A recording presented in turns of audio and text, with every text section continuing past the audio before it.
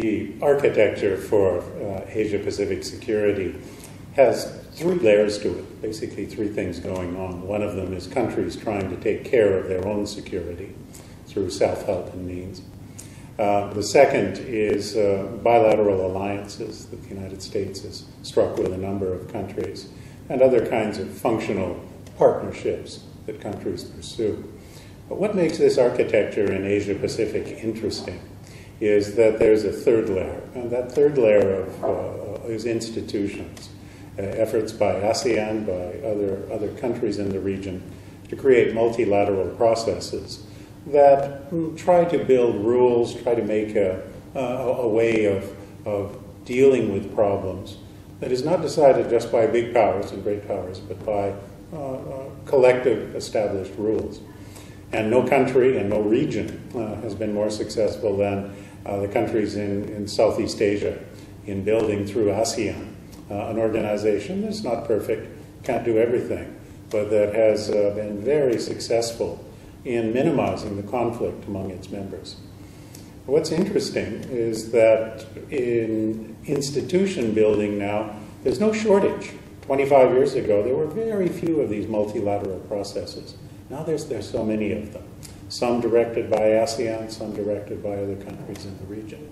China is now not just in the, in the business of participating in Southeast Asian uh, based activities, China's creating some of its own through the Shanghai Cooperation Organization and other, other things.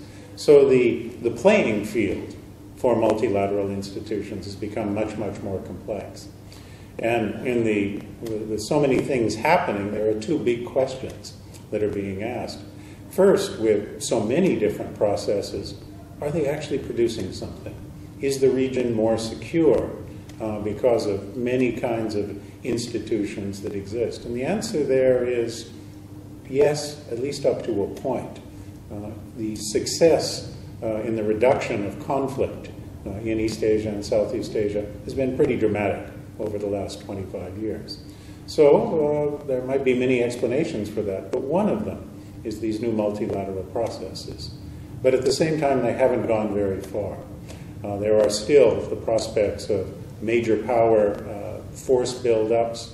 There are still difficulties that are emerging uh, at the level of, uh, uh, of big powers, traditional security and non-traditional security issues. So it's a, it's a mixed success rate, but it's valuable. Question is what comes next?